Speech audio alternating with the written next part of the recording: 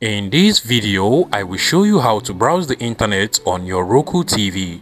Now, like you already know, one of the major issues of having a Roku device or buying a Roku TV is the fact that the Roku operating system does not allow users to actually browse the internet. So for instance, if you come over to your streaming channel, which is basically the Roku App Store, and then you try searching for any browser app from inside of this streaming channel, you will find out that there are actually no browsers in the Roku streaming channel. So if you scroll over here under all of these categories over here, there are actually no browser browser app or anything like the Google Chrome browser, the Firefox browser available for you to download and install on your Roku TV. And this makes it very difficult to sideload third-party apps, which is obviously what Roku is trying to stop users from doing on their operating system. But if you already have a Roku TV or a Roku device and you still want to be able to browse on the internet, then I'm going to give you a very simple solution that would work definitely for you.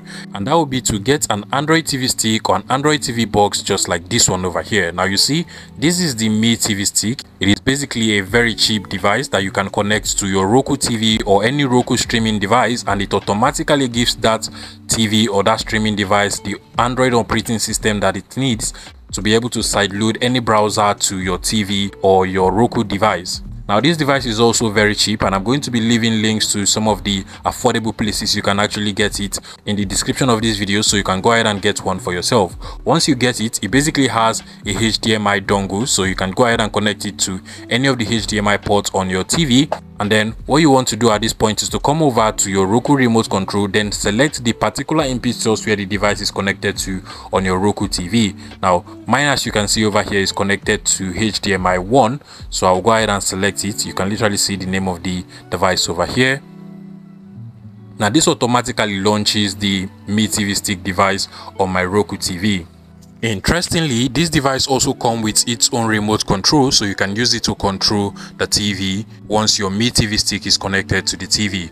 Now what you just want to do is to go ahead and connect this device to your Wi-Fi network and once it is connected, you want to head over to the Google Play Store over here then go ahead and search and download any browser into your TV. Usually I like to use the TV Bro browser which is a very popular browser and if you come over here you can literally see the TV Bro browser. I have already downloaded it so I will go ahead and open it up directly from here and basically this is how the browser actually looks like. So you can go ahead and search for anything from the top over here. So i can come over to this search input field and enter my url i want to visit.